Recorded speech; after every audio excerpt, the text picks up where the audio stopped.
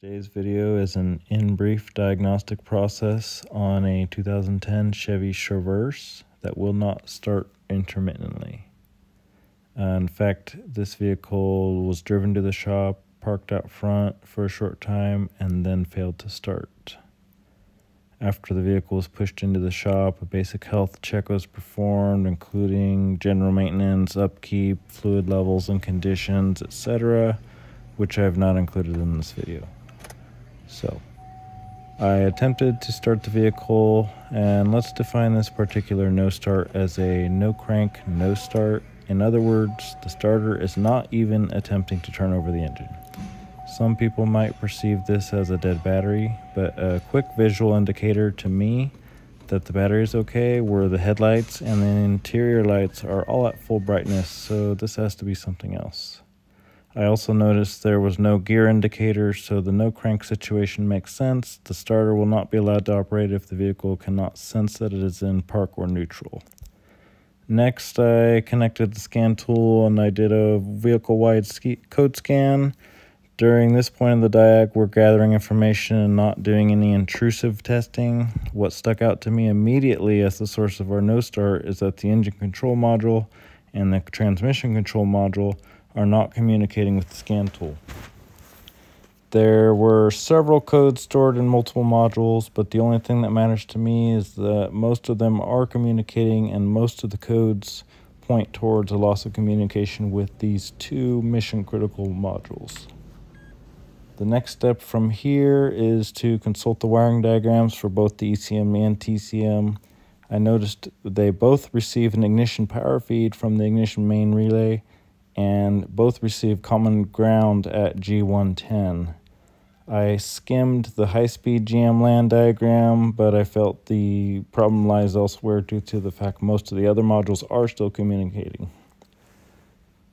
During that health check earlier, I immediately noticed the engine has had some sort of recent major work done, so I'm thinking I need to go check out that G110 ground. I found G110 is in a hard to access spot, but it's it is attached and it is good and tight. So I thought, okay, another quick check is going to be check for power being fed to the associated fuses by that ignition main relay.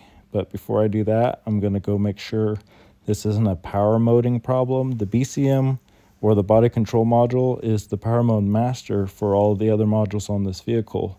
So I need to make sure that the BCM sees the ignition key data properly and after a quick check with the scan tool, everything looks okay there. Moving on to the fuse panel where the ignition main relay is located, I notice a problem right away. With the key in the on position, there's a buzzing noise coming from the fuse panel and it sounds like a relay fluttering on and off. I checked for power at the fuses downstream of the ignition main relay with a test light, which confirmed my suspicion that that is where the noise is coming from. I checked and load tested and power the power feeds into the ignition main relay, which turned out to be okay. And then I load tested and confirmed this is definitely a ground problem on the control side of that relay.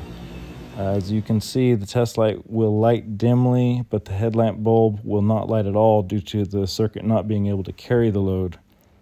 Uh, I'd also like to note that I'm only touching the test probes to the fuse panel terminals lightly and momentarily.